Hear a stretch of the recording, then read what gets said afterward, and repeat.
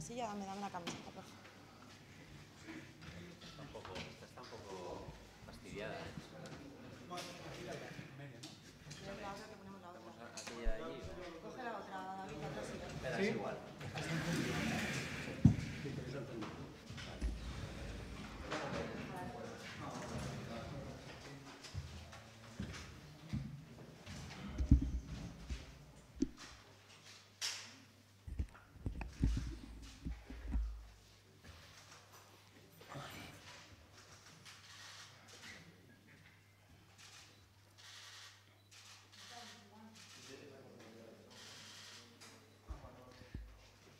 Buenas tardes a todos.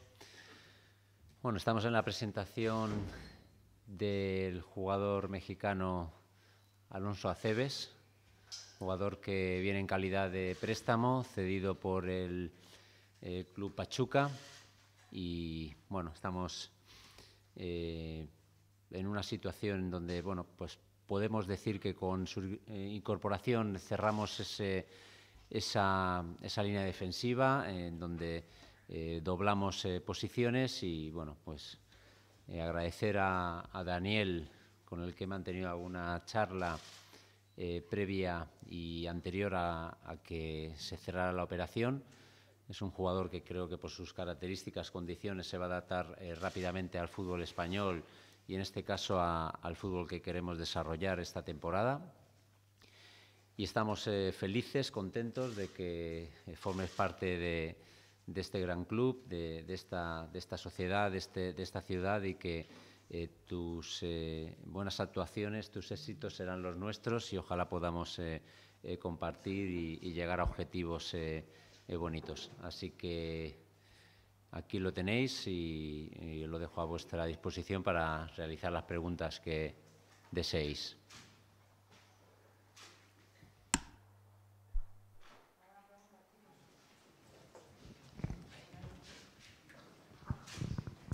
Buenas, Alonso, por aquí. Eh, Borja García, Deportes Copa Asturias. Eh, quería preguntarte un poco cómo afrontas la, experiencia, cómo afrontas la, aventura, no sé qué objetivos te, marcas. Hola, buenas, buenas tardes. Eh, pues con mucha, mucha ilusión sobre venir a, España, yo creo que ve- vengo a aprender a, a disfrutar de este nuevo fútbol, de, de un, em, de un equipo eh, bonito, y buena ciudad. Yo creo que vengo más a, a aportar y a tratar de lograr los objetivos del club. Quería preguntarte también, no sé si durante estos días, imagino que sí has hablado con, con Jesús Martínez, el, el presidente de Pachuca, del, del grupo, de, de tu equipo. Eh, ¿Qué te ha transmitido, qué te ha dicho que, un poco que- de, de cómo afrontas esta experiencia de objetivos? Eh, como el- ha sido siempre el Grupo Pachuca, yo creo que eh, eh, agarrar los equipos desde abajo eh, habla sobre el trabajo y el compromiso que tiene Grupo Pachuca con, con los equipos, que ahora es un nuevo integrante, eh, llevarlo a, a- a lo mejor y, y a trabajar. ¿no?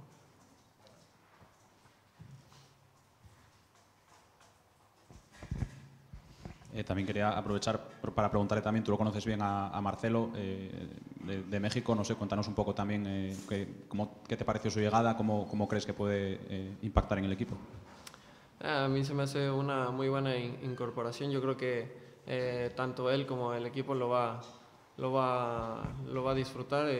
Creo que también él está en una etapa formativa donde creo que aquí puede terminar ese desarrollo para terminar de explotar su nivel. Hola, soy Noé. Eh, te quería preguntar, ¿crees que al ser una gestión directa del Grupo Pachuca te da un pozo de confianza más a la hora de, de venir a España? Em, claro, yo creo que saber que, que gente de, de mi país ah, viene también a representar acá lo que han, lo que han logrado, em, te da una cierta seguridad y confianza de, de venir y lograr eh, objetivos y más que nada juntos.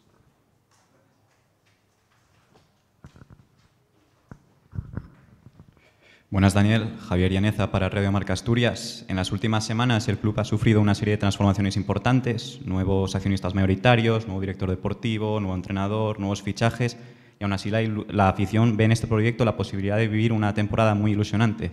Tú personalmente, ¿cómo ves el proyecto y qué te hizo decantarte para venir al Oviedo? Gracias.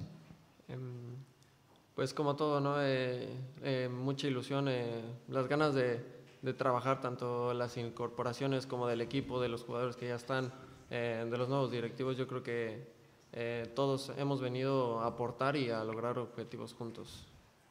Si llegas a Europa de la mano del Real Oviedo, en principio en calidad decidido por una temporada, aún así, ¿tu idea o tienes expectativas de continuar en el Real Oviedo al término de la temporada o continuar en tu carrera en Europa?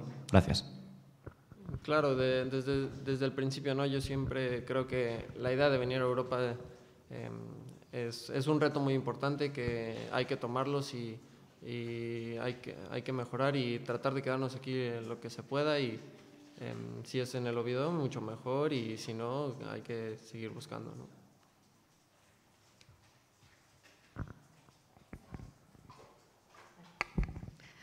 Hola, ¿qué tal? La Hernández de Fuerzas por México. Eh, ¿Has hablado con el entrenador, con John Pérez Bolo? ¿Has tenido la oportunidad? Y, y si lo has hecho, ¿qué te ha comentado? Gracias.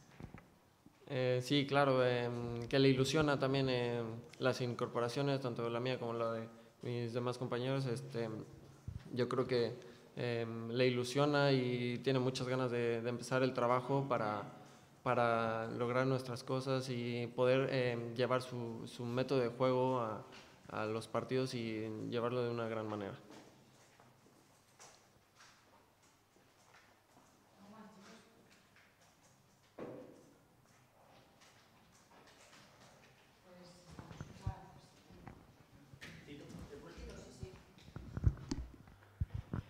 Buenas, Tito. Pablo Fernández de La Voz Asturias. Eh, ahora mismo son 23 futbolistas en el primer equipo. Eh, no sé si hay alguna demarcación que consideras que el Oviedo todavía tiene que fichar sí o sí, o si, comien comenzase la temporada este fin de semana y el mercado se cerrase el lunes, mm, ¿crees que la plantilla está totalmente compensada? Bueno, no empieza esta semana, con lo cual tengo más tiempo, pero sí que es cierto que mm, yo creo que ahora mismo está bastante compensada, pero debemos de ser eh, bueno, pues ambiciosos, debemos de estar eh, atentos al mercado y como muchas veces eh, digo, pueden existir imprevistos y para esos imprevistos tenemos que estar preparados para dar soluciones.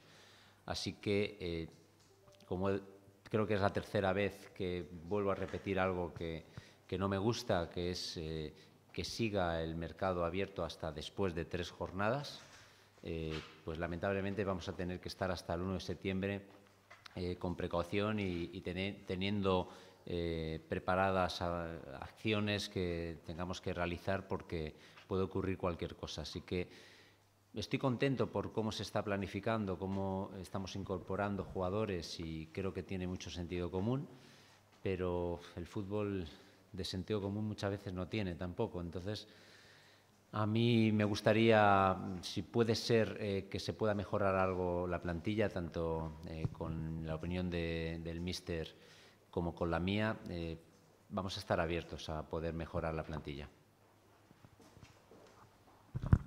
Buenas, Tito. De nuevo, Javier Llaneza para Radio Marca Asturias. Como comentabas, con la plantilla prácticamente cerrada y algunas posiciones cubiertas, es un inconveniente que el mercado no cierre hasta el 31 de agosto. En ese sentido, ¿teme que algún club intente fichar los últimos días de mercado a jugadores con cláusulas bajas como Costas, Calvo o Borja Bastón? Gracias. No, no lo temo. Desde, desde que llegué a este club eh, supe de esas situaciones y, estamos preparados por si tenemos que, que realizar incorporaciones. Eh, por eso, repito una vez más, eh, no me acaba de gustar cómo está eh, el cierre de mercado en, este verano eh, y en los anteriores, porque ya llevamos varios años eh, funcionando de esta manera y, creo que no es bueno para la competición. Creo que se devalúa y se perjudica de manera eh, muy importante a algunos clubes, por mucho que tengas dinero, por mucho que tengas luego un tiempo para poder firmar, el mercado se cierra y los jugadores ya encuentran acomodo. Entonces tienes que ir a un mercado donde los jugadores están libres. Entonces, bueno, mm, vamos a, vamos a estar preparados. Eh, yo siempre estoy abierto eh, a posibilidades que me hagan mejorar a la plantilla y el entrenador también, con lo cual, mm, como te he dicho, le he dicho a tu compañero, vamos a estar eh, atentos y preparados por si ocurre alguna de esas situaciones. Tito, eh, sí me gustaría que nos aclarases cómo está el límite salarial del equipo, sobre todo teniendo en cuenta que, que, la propiedad advierte que para fichar más es necesario hacer una ampliación de capital. Se está haciendo un trabajo, creo que de calidad dentro del club, eh, de, los que, de los que estamos atentos al fair play financiero, a lo que es el límite de coste de la plantilla deportiva. Estamos eh, algo excedidos, pero no de manera eh, eh, brutal, no de manera que no se pueda solucionar. Ya entramos en aspectos donde yo no tengo eh, pues, eh, una fuerza importante que es eh, hacer una ampliación de capital. Eh, a mí se me pregunta si el equipo puede mejorarse y posiblemente ponga un jugador y ese jugador cuesta un dinero y ese dinero repercute en el en el límite de coste, con lo cual, bueno, pues si se lo plantea la propiedad, eh, pues nos podría dar la posibilidad de mejorar esa plantilla.